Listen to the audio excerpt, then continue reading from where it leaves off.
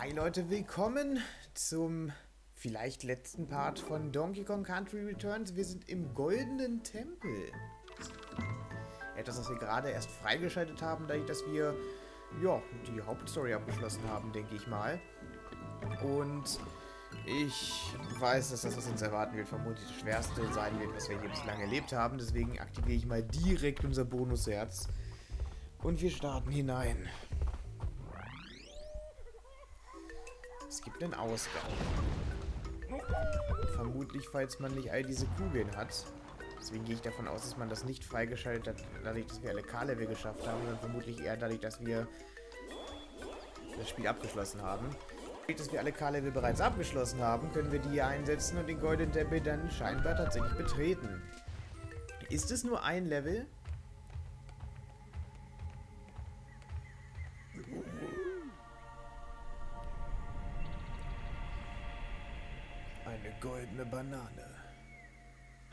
Du ja eigentlich schon einige gesammelt in Donkey Kong 64. Jetzt musst du dich da gar nicht so krass drüber freuen.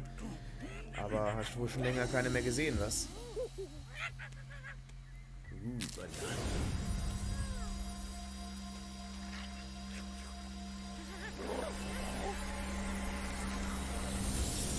Alles klar. Hallo zu Lugeden, Banane. Habe das Gefühl, wir haben jetzt nur einmalig die, die dabei, oder?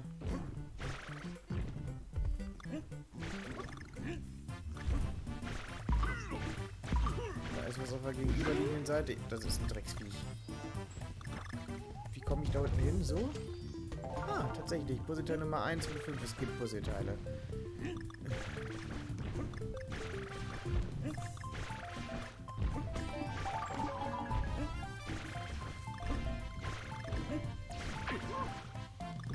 Die nicht.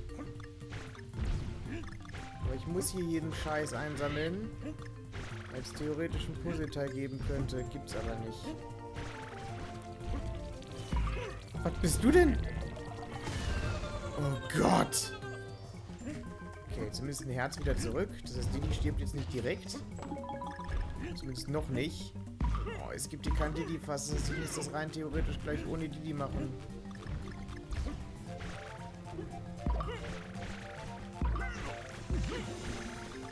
Ich muss die alle einsammeln hier. Bitte nicht. Ich will das nicht. Was soll das denn? Ja, ist klar. Übertreib doch.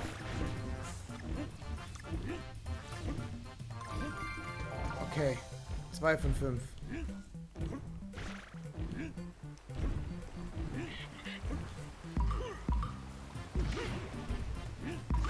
Diese Drecksschussviecher sind echt das nervigste bislang. Ja, du mich auch. Verpiss dich.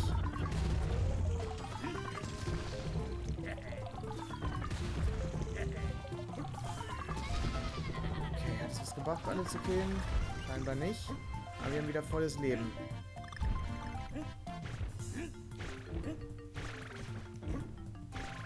Da muss ich alle sammeln.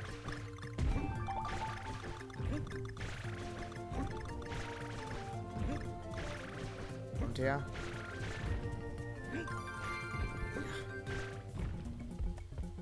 Ähm. Okay, drei von fünf. Ich bin so dumm, ich bin so dumm, ich bin so dumm. Warum tue ich das? Ich hatte volles Leben. Das war's mit Didi. Und damit wird's ab jetzt der Horror. Ab jetzt wird es der Horror. Ich hätte es vielleicht sogar im First Try schaffen können. Wir waren über die Hälfte, was die Puzzleteile anbelangt. Und mit Didi konnte ich dem Scheiß hier wunderbar ausweichen. Das ist jetzt, wie gesagt, Geschichte. Piss dich. Piss dich. Gott, es wird der Horror, es wird der Horror, es wird der Horror. Warum, tue ich das? Warum bin ich so dumm gewesen? Ja, super. Wo war denn das Herz? Hier noch nicht, ne? Fick dich! Du dich auch! Ja, leck mich am Arsch! Ah! das ist der Horror. Ich werde das niemals schaffen ohne Diddy. Ich muss das im First Try mit Diddy durchbringen. Ich muss jetzt raus und Diddy holen, neu rein und es im First Try schaffen. Und mir ein neues Herz kaufen ist doch zum Kotzen. Oh, ich war so schön ne? Es war so schön und dann springe ich voll mit Full Life in eine Schlucht. Vollkommen unnötig. Vollkommen unnötig.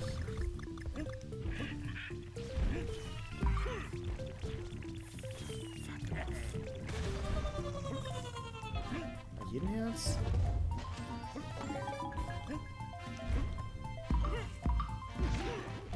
Ist hier irgendwo was versteckt? Wäre sehr geil, wenn ich irgendwo was verpasst hätte. Also, eigentlich ist das nicht geil, wenn man was verpasst. Es wäre aus dem Grunde sehr geil, wenn ich was verpasst hätte, weil ich dann schon bei 4 von 5 wäre.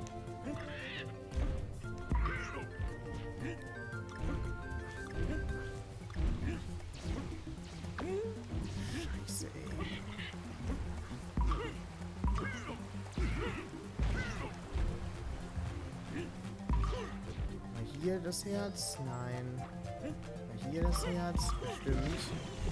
Weil hier die Dreckskoalas waren. Ja, hier war das Herz. So, ignorieren. Das habe ich alles schon gesammelt, also weiter. Hier bin ich gestorben. Hier. Also das ist so simpel, diese Stelle gewesen. Mit Diddy wäre ich da so simpel rübergekommen. Ich hätte das so locker weiter schaffen können. Ich Vollidiot schaffe die simpelsten Sprung dann nicht. Das regt mich so auf. Aber gut, wäre auch langweilig gewesen, wenn wir nach 5 Minuten durch das schwerste Level durchgerusht werden.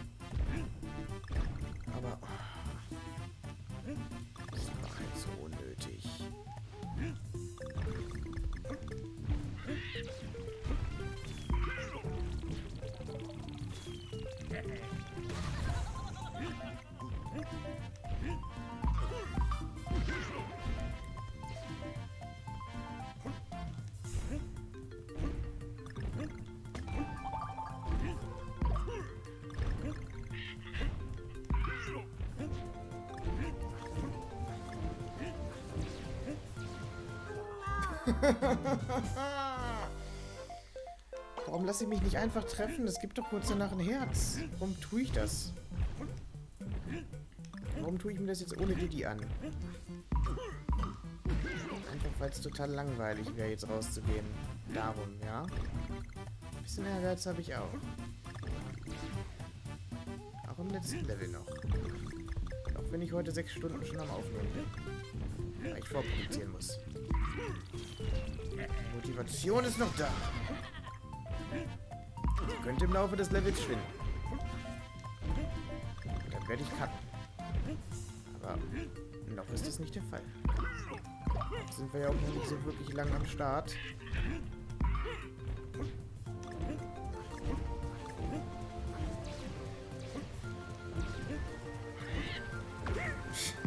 Okay, habe ich mich jetzt hier treffen lassen, egal. Gibt es eh wieder Leben.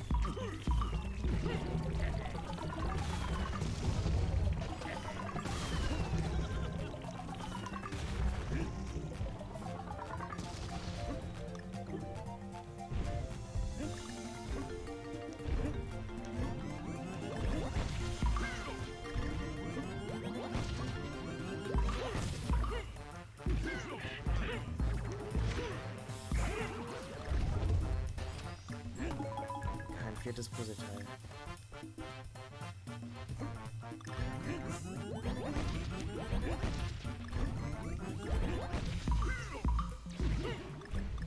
Fickt euch alle.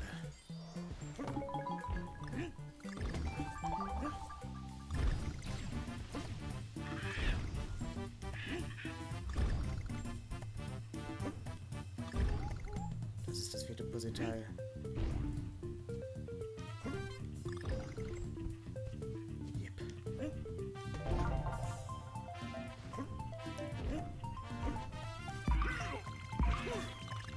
Warum denn? So schlimm sind die nicht. Brauche ich gar nicht. Okay,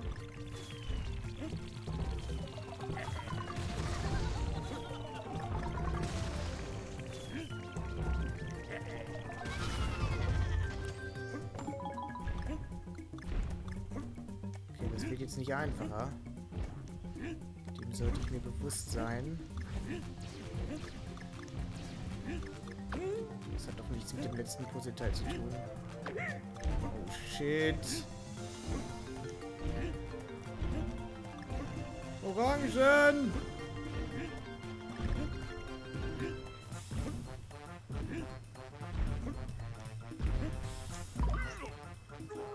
Warum? Was ist in meinem Kopf gerade falsch gewesen? Aber das wirkt jetzt halt nicht unschaffbar, ne? Ich meine, ich bin relativ schnell so weit gekommen, auch ohne Didi.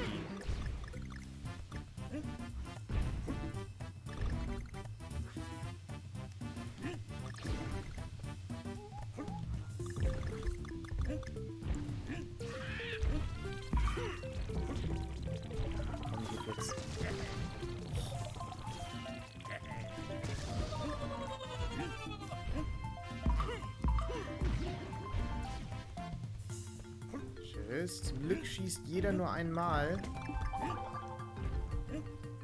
Und taucht dann nicht plötzlich nochmal auf oder so.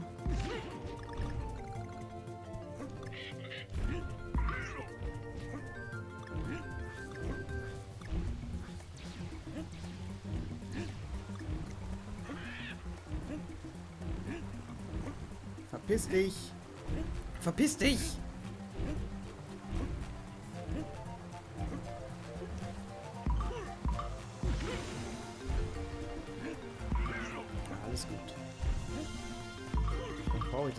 Gar nicht.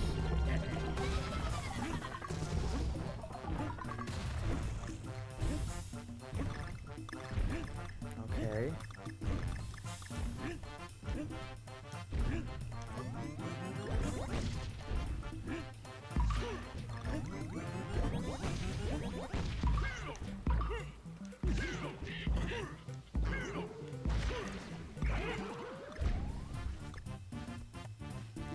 Eine der schwierigeren Stellen, fand ich, aber das geht klar. So, den Kram können wir uns jetzt auch sparen.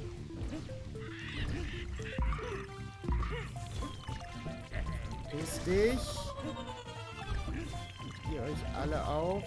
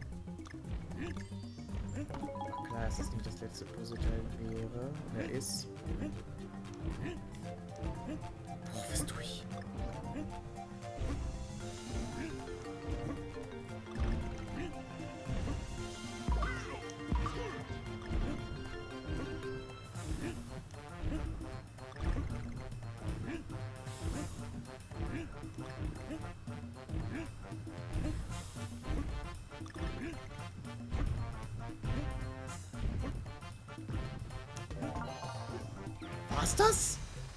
Oh mein Gott! Das war's? Das war's? What? Und ich hab mir Angst. Ich hatte Angst vor dem Level. Ich sagte, doch, das wird der Horror. Das wusste ich bereits übrigens, das habe ich bereits mitbekommen. Du kannst nun jeden beliebigen Level im Spielmodus spielen, dabei wird Donkey Kong nicht von seinem Kumpel Diddy Kong unterstützt und kann auch keine Items aus dem Inventar verwenden. Um das Ganze noch etwas schwieriger zu machen, hat er nur ein Herz. Viel Glück. Für die Leute, die die 200% im Spiel machen wollen, für die ist das da. Wir haben die 100% gemacht, wie wir auch gleich im Level-Auswahlbildschirm sehen sollten. Die Puzzleteile zählen übrigens zu gar keinen Prozenten dazu. Weder zu den 100 noch zu den 200%. Die sind völlig optional, nur für die Beta-Galerie. Äh, die 100% hat man erreicht, wenn man dieses Level hier geschafft hat. Denn dieses Level kann man nur schaffen, wenn man alle K-Level geschafft hat. Und alle K-Level kann man nur schaffen, wenn man alle KONG-Buchstaben gefunden hat. Dadurch kriegt man die 100%. Die 200% kriegt man, wenn man alle Level dann noch einmal im äh, Dingens-Modus spielt, im Spiegelmodus spielt. Der Zeitmodus, den es auch noch gibt, sowohl wie die Puzzleteile, sind völlig optional und haben keinerlei Bedeutung auf Prozentanzeigen. Dadurch können wir jetzt tatsächlich einmal noch die Level-Statistik öffnen und sehen, wir haben hier alles, wir haben hier alles, wir haben hier alles, hier, hier, hier, hier, hier und hier auch. Und damit hätten wir sogar ohne das Bonusherz dieses letzte Golden Tempel Level geschafft. Wir waren nicht einmal auf ein Herz runter. Hätten wir das Ganze. Und schauen noch einmal kurz in die Bildergalerie. Ähm...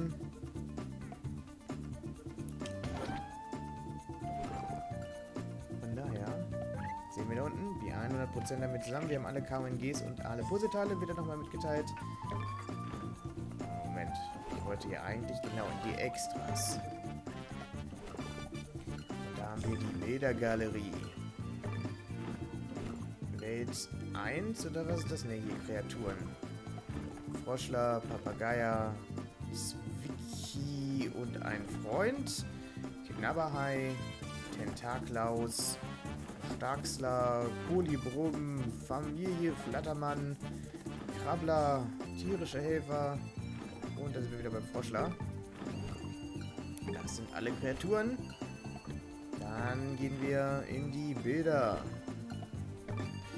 Welten, Dschungelwasserfälle, Dschungelstatuen, Piraten voraus, Unterwasserabenteuer, Ruinen, Bambuswald, Fossilienklippen, Farndoser, Fabrikeingang, Vulkaneruption, Dschungelwasserfälle, Dschungelstatuen hatten wir schon.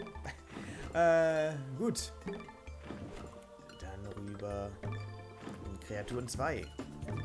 Hier haben wir Kalmar-Kanone, Käfigbärchen und seine Freunde, Kabumtiki, Wächterkumpel, Schwirrbeißer, Familie Mampf, Skeleturex, äh, Knochenkopfkarl, Knochenkopfkarl, Koala, Roborandlanger und dann sind wir wieder bei der Kalmar-Kanone. Kongs. Dort habe ich noch nicht alles freigeschaltet. Nur der entschlossen Starfer kann dieses Item freischalten. Ich gehe mal davon aus, dass man die dann für, den, für die 200% bekommt. Vor der Hütte. Inselpanorama. Tutorial Schwein. Trautes Heim. Crankys Laden. Familienporträt. Und wieder vor der Hütte. Da haben wir die Tikis. Auch da fehlen uns dann welche. Wir haben die Schreisäulen, wir haben Flattertiki, wir haben Panzertiki, wir haben Hüpftiki, wir haben Fackettiki, wir haben Tiki-Entwurf, wir haben Tiki-Aufstellung, wir haben früher Lava-Tiki-Entwurf, wir haben Schreisäulen, wir haben Flattertiki, Panzertiki, Hüp Hü Hüpftiki? Hatten wir schon. Ich glaube, ich bin schon wieder öfter durch. Ja, bin ich. Goldener Tempel. Den goldenen Tempel haben wir über den Wolken. Bananenachterbahn. Papierausschnitte. Ich glaube, das sind verschiedene Konzeptzeichnungen, wie der goldene Tempel hätte aussehen können. Verrückte Blöcke. Zauberhafte Puddingwelt. Virtual Boy Minenfahrt. Goldener Tempel. Bananenpudding mit Keksen. Und das müsste es gewesen sein, ne? Das letzte hier war Bananenpudding mit Keksen. Auch hier haben wir noch einen Schlüsselstab, da kann dieses Item freischalten. Bösewichte. Das müssten die Bossgegner sein. Da haben wir Grässli hieß er. Es waren also doch zwei unterschiedliche. Fangen wir beide mit G, mit G an und sehen relativ gleich aus. Die fiesen Landkrabben-Crew. Bomberich.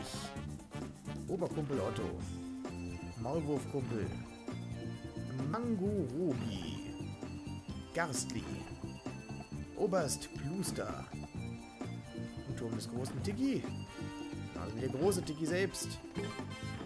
Und als letztes haben wir noch den Bonus. Dort haben wir Rambi. In einem sehr frühen Design, wie es aussieht, die Strandbrücke. Aalangriff auf dem Leuchtturm. Das hat alles leider nicht ins Spiel geschafft, genauso wie die Bernsteinhöhle. Der allerdings schon, das Pogopotamus. Baumwipfeldorf. Das Baumwipfeldorf hat man übrigens ja, in Mario Kart 8 als äh, DLC-Strecke gehabt. Klippen bei Dämmerung. Nostalgiefabrik. Zornige Feuerbanane. Und Tempelmonument. Wir den Bonus durch. Können nochmal kurz in die Musikgalerie schauen. Da könnte man sich jetzt rein theoretisch alle Musikstücke der jeweiligen Welten anschauen, aber ganz ehrlich, wir haben all die Musik schon mal gehört, die müssen wir sich nochmal anhören. Wenn ihr das Let's Play verfolgt habt, dann solltet ihr nahezu alle diese Musikstücke schon mal gehört haben. Von daher machen wir nur die Sternchen für neu einmal weg, indem wir hier einmal öffnen und ihr seht dadurch, ja, die Namen. Ich denke, wenn da Returns hintersteht in Klammern, dann ist es quasi ein geremakedes Musikstück.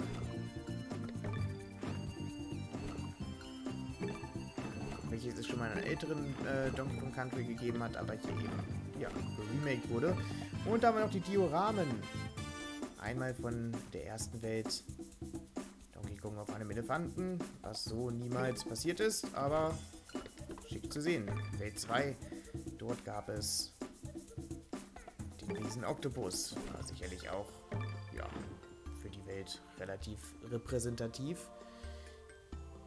Hier hatten wir diese, die Bärchen, die auch für die Welt relativ repräsentativ waren, wie ich fand.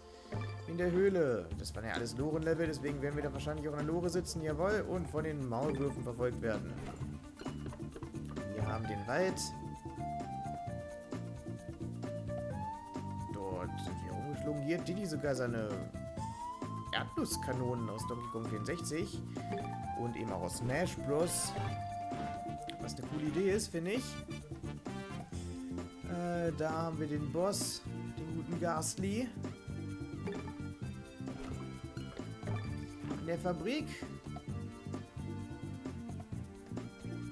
Das ist definitiv eine Anlehnung an das Arcade Donkey Kong, wenn er die Fässer da den Berg hinunterwirft. Und für die letzte Welt, den Vulkan. Da haben wir den großen Tiki. Und auch da Diddy Kong wieder eine seiner Kanönchen am Start. Und das waren der extra Kapitel. Also wir sind ein bisschen schneller mit dem letzten Level durchgekommen, als ich erwartet habe. Ich bin davon ausgegangen, dass ich cutten muss. Und ich bin davon ausgegangen, dass ich Diddy holen muss. Dass das so funktioniert, hätte ich nicht erwartet. Von daher sind wir jetzt, wie gesagt, durch. Haben die 100% geschafft. Ich bin sehr zufrieden. Und kann an dieser Stelle eigentlich nur sagen, ich hoffe, ihr hattet Spaß mit dem Let's Play. Wenn ihr von diesem Let's Play nicht genug bekommen konntet, dann kann ich euch, falls ihr es noch nicht gesehen habt, natürlich mein Let's Play zu Donkey Kong Country Tropical Freeze ans Herz legen, welches wir damals zum Release auf der Wii U ebenfalls mit allen Puzzleteilen und allen KNGs und allen Spezialwelten gespielt haben, eben auch zu denselben 100% wie jetzt. Secret Access gab es da ja auch und so weiter und so fort. Also eine ganze Menge noch neu dazugekommen als Nachfolger von diesem Spiel. Kann ich das ins Herz legen, den neuesten Switch-Teil, also was ist den neuesten Switch-Teil, das Remake, das Remaster, wie auch immer, von Tropical Freeze werden wir nicht Let's Playen, da wir es eben schon zu 100% auf der Wii U Let's Played haben. Bis auf den Funky Mode, der einfach nur ein Easy Mode ist, ist halt nichts Neues hinzugekommen. Von daher, ja, brauchen wir das nicht nochmal Let's Playen, weil wir wollen nicht dasselbe Spiel nochmal in einfach Let's Playen. Das heißt, äh, Funky Mode macht für uns keinen Sinn. Und da wir ansonsten alle schon gesehen haben, konzentriere ich mich lieber auf Spiele wie dieses hier, welches wir eben noch nicht Let's Played haben, statt auf Spiele, Spiele ein zweites Mal Let's Play, zu Let's Playen, die wir schon einmal vollständig gemacht haben.